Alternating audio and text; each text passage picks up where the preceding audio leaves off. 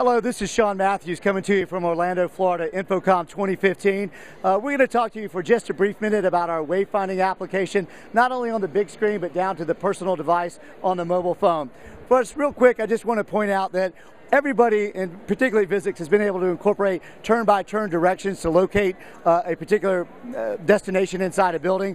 But this year, we've taken it a step further. This year, we introduced our new mobile app which our mobile app platform is normally configured to show a map of the facility, a directory, and news and events. But what's more important is we're using low-powered AA battery uh, Bluetooth beacons to send signals out to the application so that when an individual walks into the facility, they're prompted with visual cues in terms of where to go in the building.